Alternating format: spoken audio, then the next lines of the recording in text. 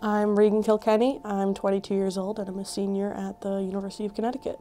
My name's Anthony. I'm a junior studying digital media and design. The original film club was founded in 2016 with a group of eight UConn students because there was no established film program at UConn. There were film studies classes and film theory classes, but no film production courses that a student could learn start to finish how to make their stories come to life. We've grown to be a Tier 3 organization, a part of UCTV, where we have access to a larger budget where we can buy equipment that our members would actually see out in the field. This also is so helpful because they don't have a film program to supplement their education in a structured way. So being that we now have a budget to give them the equipment they'll actually see, that helps them with the lack of degree in filmmaking, they still get those skills, hard and soft skills to help them. I remember I became DP, director of photography of um, a film my sophomore year, beginning of my sophomore year, and I've that was my first big role in anything, basically. So I had no idea what I was doing, but um, Jacob, the director, was very um, helpful and kind of guided me. And I did have a lot of fun with that. It was very um, it was a very good learning experience. Now I'm actually directing a film this semester, which is crazy. Through Film Club, if you want to get a film made, you present your idea to the group, and every member from the newest freshman to the oldest senior, they have one vote, and that counts towards one project that they believe in. So once that's voted on and we decide two to four for a semester, all of the members who weren't involved in the pitching process will be able to join teams and say, hey, I really like this idea. I would love to work on it. Tell me where I can help. So this year my film was picked, which was very nice. But then you have to write it, which is very long and takes a lot of work.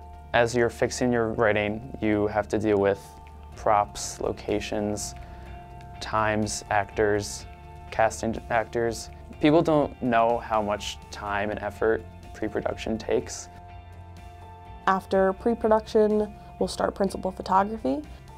it's a lot of fun, but it's, you know, very stressful as well because you want it to be perfect and you want as much time as possible to make it look good, but sometimes that's not the case. It's a great learning experience and it's great to go to a film shoot and just see what it's like. Once you finish production, you move on to post-production where you'll do the editing of the actual film, the score, the sound design, and once post-production is done, you get to release it. You can send it to film festivals if you please. We have a film festival at the end of the semester where we show all of the films from the last year. It's just a great way to come together and see the projects that you didn't necessarily work on and show off the projects that you did. My favorite thing about Film Club, I would say, is definitely um, the people that are in it, just because it's such a fun, inclusive environment. Um, everyone is able to join. You can just walk in and you feel like you're already a family. It's very fun and the people all love to make films, so it's just an environment where everyone loves to do the same thing. It's a great way to teach people and help each other just grow, which is nice. I think that if there was no film club when I came here as a freshman, I probably wouldn't have stayed at UConn.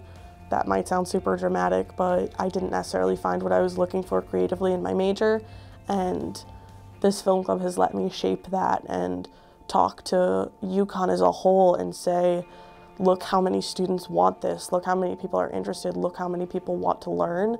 And I think that's definitely helped tell UConn as a community, hey, this is wanted, and if you make it, we'll be there for it and we'll support it as a student body and then also on a departmental side.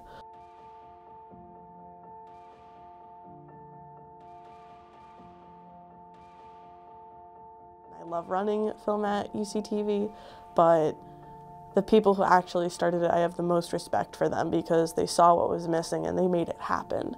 And I get to enjoy the benefits of it and see it grow from now on.